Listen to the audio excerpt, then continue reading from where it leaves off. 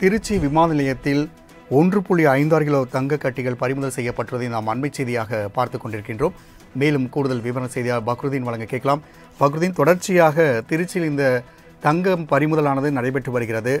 தற்பொழுது இந்த தங்கம் பறிமுதல் குறித்தான கூடுதல் விவரங்களை பதிவு பண்ணுங்கள் ராம்குமார் அதாவது திருச்சி சர்வதேச விமான நிலையத்தில் நாள்தோறும் துபாய் மலேசியா சிங்கப்பூர் உள்ளிட்ட பல்வேறு நாடுகளுக்கு விமான சேவை இயக்கப்பட்டு வரும் நிலையில் விமானத்தில் வரும் ஒரு சில பயணிகள் நூதன முறையில் தங்கத்தை மறைத்து வைத்து எடுத்து வந்து நுண்ணறிவு பிரிவு அதிகாரிகள் சுங்கத்துறை அதிகாரிகளிடம் சிக்கிக்கொள்ளும் சம்பவம் நாளுக்கு நாள் அதிகரித்துள்ளது.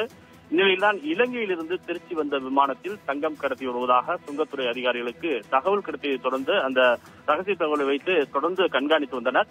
இதில் திருச்சி விமான நிலையத்தில் விமான பயணிகள் இன்று காலை அதாவது வழக்கமான அந்த சோதனை என்பது நடைபெற்றது. இந்நிலையில் தான் திருச்சி விமான நிலையத்தில் பயணிகள் கழிவறை அருகே சிகப்பு கேரி பேக் கவரில் ஐந்து பாக்கெட்டுகளாக பேஸ்ட் வடிவிலான தங்கம் என்பது அங்கு கேட்பாரட்டு கிடந்துள்ளது. இதன் எடை என்பது ஒன்று புள்ளி ஐம்பத்தாறு கிலோ தங்கம் இருப்பதாக கூறப்படுகிறது. தற்போது அந்த கழிவறைக்குள் தங்கத்தை வைத்தது யார் என்ற விசாரணை என்பது தற்போது தீவிரப்படுத்தப்பட்டுள்ளது. மேலும் அங்கு இருக்கக்கூடிய சிசிடிவி காட்சிகளை வைத்தும் தற்போது சுங்கத்துறை அதிகாரிகள் அந்த விசாரணை என்பதை துவங்கியிருக்கிறார்கள்.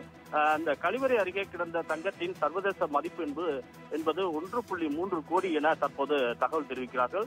தொடர்ந்து அங்கு இருக்கக்கூடிய அதாவது இந்த விமானத்தில் வந்த பயணிகளின் வரிசைப்படி அந்த பயணிகள் யாராக இருக்கலாம் என்பது குறித்து தற்போது விசாரணை என்பது சென்று கொண்டிருக்கிறது. ராம்குமார்.